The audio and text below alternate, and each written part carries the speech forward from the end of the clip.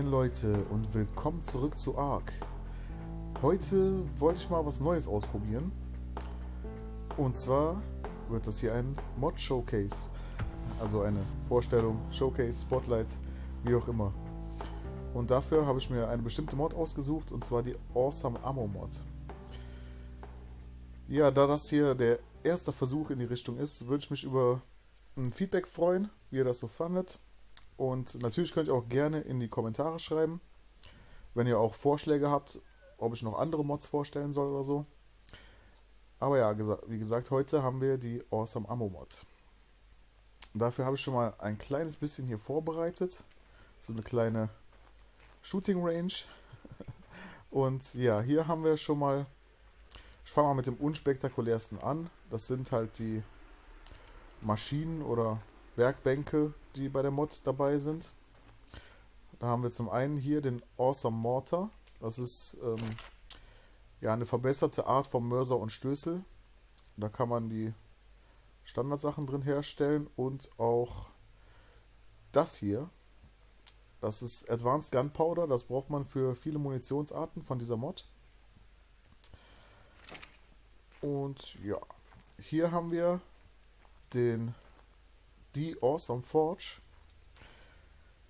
Die funktioniert mit Benzin und da können, kann halt äh, Metall drin geschmolzen werden und auch unter anderem die Metalle, die man für die Mod braucht. Hier haben wir äh, Blei, Silber, Silber, Silber, Blei, Blei. also wiederholt sich auch, man kann hier mehrere Sachen gleichzeitig craften. Dann haben wir hier was ganz Besonderes, das habe ich vorher so noch nicht gesehen. Das ist ein Artifact Crusher. Da kann man halt äh, random, egal welche Artefakte drin zerkleinern und daraus hier so unstable Splinter, äh, radioaktives Material rausbekommen. Und dann haben wir noch die Crafting Bench von der Mod. Da werden natürlich die ganzen Munitionsarten und aber man kann auch die Standardwaffen herstellen. Also alles, was mit Waffen zu tun hat, wird hier drin äh, hergestellt. Und eine bestimmte Rüstung gibt es noch, die ist bei der Mod dabei. Die habe ich auch schon an. Ich weiß, sieht aus wie die ganz normale SWAT-Rüstung, aber das ist eine Bleirüstung. Und sie soll einen angeblich vor Strahlung schützen. Ah, super, jetzt wird es Nacht. Die überspringen wir mal kurz. Bis gleich. So, da ist die Nacht auch schon vorbei. Und dann werden wir direkt mal loslegen mit der ersten Waffe, würde ich sagen. Das ist die der einfache Revolver. Der hat nur zwei verschiedene Munitionstypen. Das ist einmal die AP-Munition und die Signalmunition. Und ja, ich habe auch hier die Standard-Munition drin. Aber leider zeigen diese äh, Dummies den Schaden von der normalen Munition nicht an. Also da steht immer 0. Das heißt, man hat einen schlechten Vergleich. Ich meine, das kommt ja auch immer auf die eigenen Spieleinstellungen an und sowas. Auf jeden Fall zeige ich euch jetzt mal die Damage von der AP-Munition. 23.000, das ist schon krass. Dafür muss man auch nach jedem Schuss nachladen. Aber wie man sich vorstellen kann, sind die meisten normalen Dinos damit ein One-Shot. Dann haben wir noch die Signalmunition. Die macht gar keinen Schaden an Tieren. Die ist nur dafür da, um diese Leuchtkugeln abzuschießen. Cooles Feuerwerk. Ja, auf jeden Fall nachts praktisch. Damit kann man die ganze äh, Umgebung erhellen. Man sieht hier schon diesen grünen Schein. Es hält aber auch nicht allzu lange an. Also wenn die hier so langsam auf den Boden zugehen, dann hören die auch auf zu leuchten.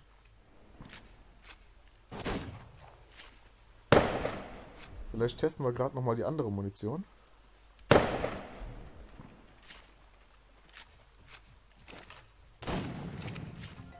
Oh, da macht das schon gar nicht mehr so viel Schaden.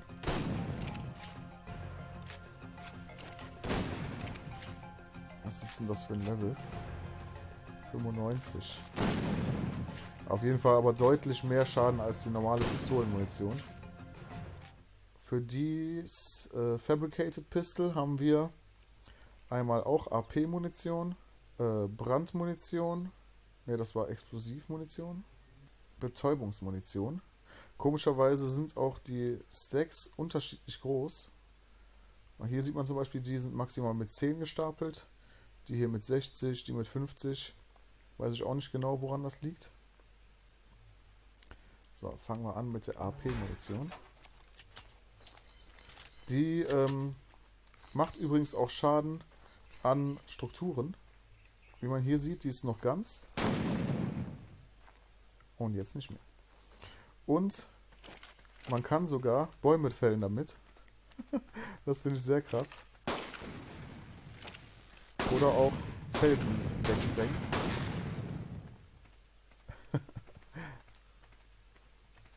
okay, checken wir mal ganz kurz den Schaden aus. Aber ich mache das jetzt an den Puppen hier. Sieht ein bisschen weniger als die Simple Pistol, aber dafür kann die halt schneller hintereinander schießen und muss nicht nach jedem Schuss nachladen. So, dann haben wir hier die HE-Munition.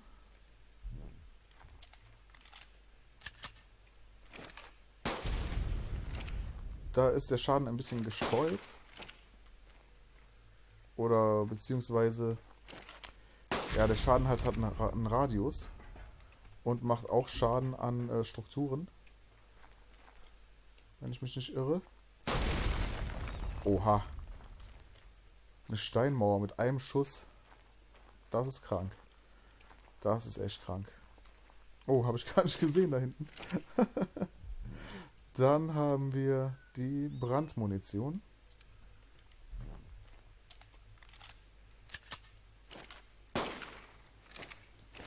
Aha, die zeigt jetzt wieder 0 an. Ich habe aber vorsichtshalber hier ein paar Viecher habe ich gezähmt. Also man sieht, es wirkt auf jeden Fall. Trank-Munition. Ja, da hätte ich gar nicht rüberlaufen brauchen. Können wir auch direkt testen. Zisch.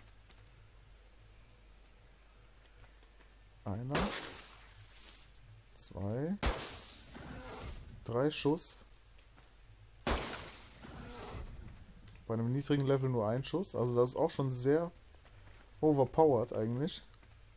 Äh, das Teil hier ist übrigens dafür da, um die Munition wieder aus dem Magazin zu holen.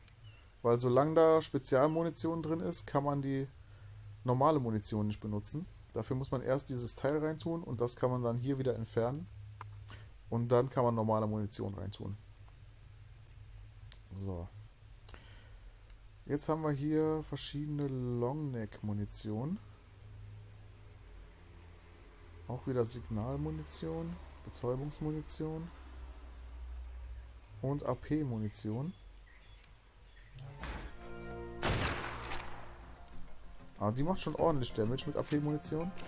Rücken auch? Ne, 210. Dann probieren wir mal die Signalmunition, aber die dürfte wahrscheinlich genauso wenig effektiv sein wie die von der Pistole. Ja, die macht keinen Schaden.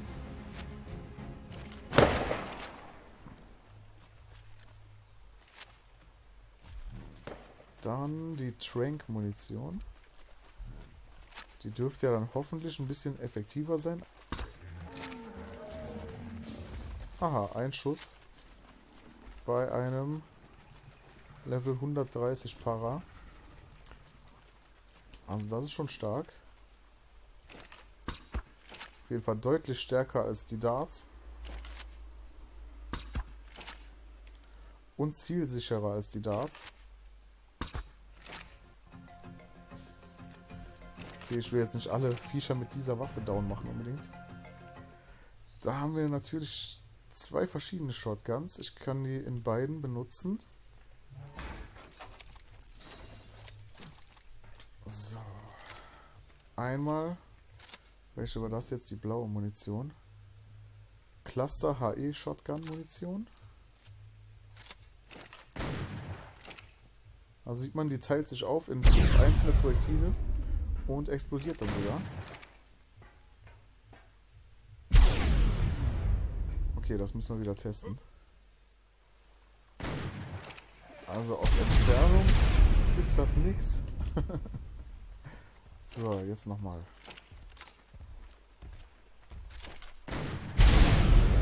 Oh. Okay, das macht schon ordentlich Schaden. Dann mal die andere Shotgun testen.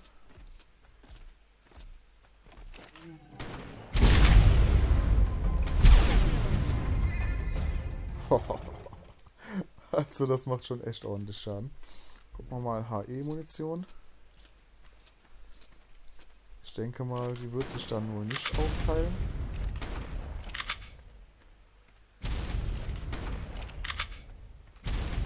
Also auch eine Explosivmunition. Und kann auch die Umgebung zerstören. Okay. Aber da fehlt noch was. Wir haben noch äh, so eine C4-Sprengmunition. So, da haben wir noch die C4-Munition. Sticky Bomb Shotgun Ammo.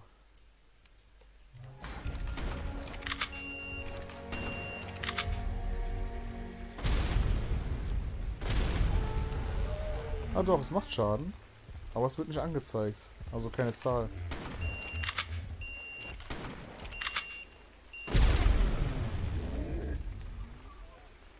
Tja, schade. Okay, äh, bei Strukturen zeigt es doch Schaden an. Alter, das ist ja krass.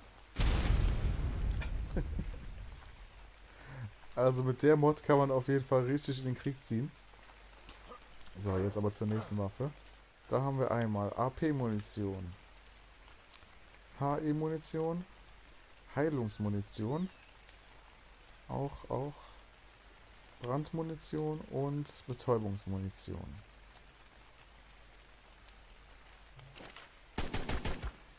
Aha. 850 pro Schuss. Das ist schon mega für diese ähm, Schussgeschwindigkeit. Das ist krass. Okay, ich möchte mal die Heilungsmunition ausprobieren. Ach, die sind beide noch down hier. Ah, okay, der hat kein volles Leben. Dann schießen wir mal auf den. Ich denke mal, das ist für eigene Viecher gedacht. Ja, da sieht man, wie das Leben hochgeht. Ah, cool. Dann haben wir natürlich wieder Brandmunition. Oh, die kennen wir ja mittlerweile. Ich habe gerade noch festgestellt, der Brandschaden, den die Munition verursacht, der ist äh, prozentual.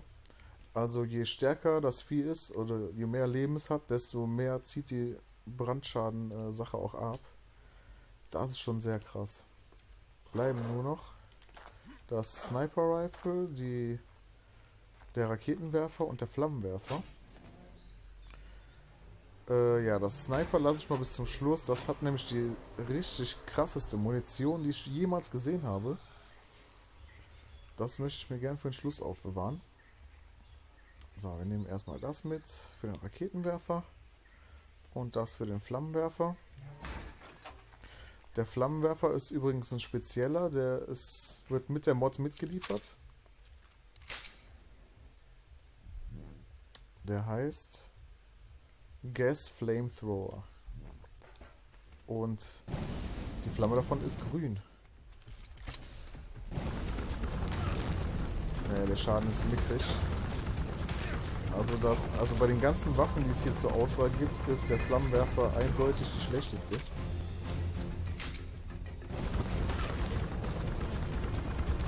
Naja, das wird nix.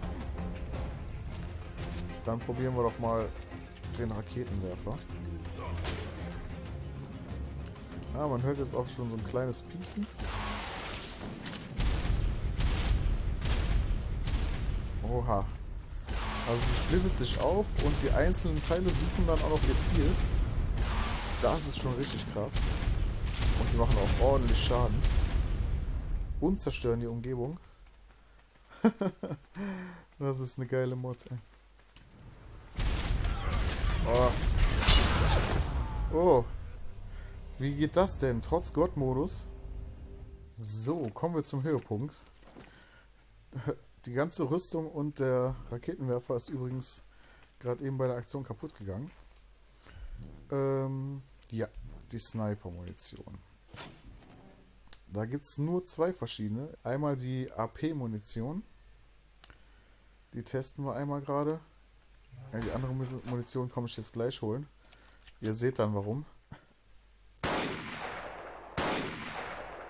Fast 1000. Ja, das ist doch schon mal was. Und okay, jetzt kommt die ultimative Munition. Es gibt einen Grund, warum ich die noch drin äh, liegen gelassen habe. Und zwar ist das Nuklearmunition. Das ist auch der Grund, warum diese Boxen hier, die gehören ja auch zur Mod, ach, habe ich noch gar nicht gesagt. Das sind ähm, ja die Ammo Storage Boxen, gibt es auch zum an die Wand hängen. Und äh, die sind halt aus Blei, damit die isoliert sind. Weil wenn ihr jetzt seht, wie ich die rüberziehe, zack, kriegen wir sofort hier Radioaktivitätsschaden.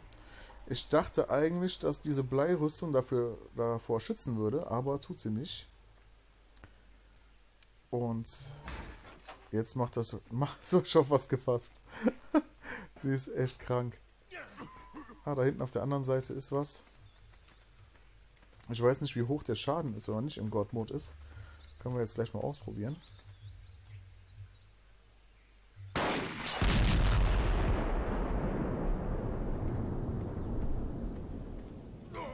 Wie ihr seht, seht ihr nichts. 61.000 Schaden. Und das äh, Sniper Rifle ist instant nach einem Schuss kaputt gegangen. also ich glaube, damit kann man schon eine ganze Dino-Armee ausradieren, auf jeden Fall. Okay, ich mach mal kurz äh, den Creative Mode raus. Dann sehen wir mal, was wir an Schaden bekommen. Nix. Wieso nix? Ah doch, so langsam kommt. Aber füllt sich direkt wieder auf, hä? Ah, okay, ich weiß jetzt nicht, wie stark ich die Lebensregeneration eingestellt habe hier. Aber es macht auf jeden Fall ordentlich Schaden. Und ja, das war's von der Awesome Ammo Mod. Ihr könnt aber gerne in die Kommentare schreiben, wie ihr die so findet. Und äh, wie ihr das allgemein so findet, dass ich eine Mod-Vorstellung gemacht habe. Und wenn ihr möchtet, könnt ihr natürlich auch gerne Vorschläge machen für andere Vorstellungen. Und ja, haut rein, Leute. Bis zum nächsten Mal. Ciao.